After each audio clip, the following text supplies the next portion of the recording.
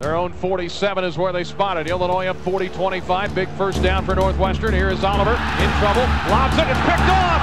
Picked off going the other way.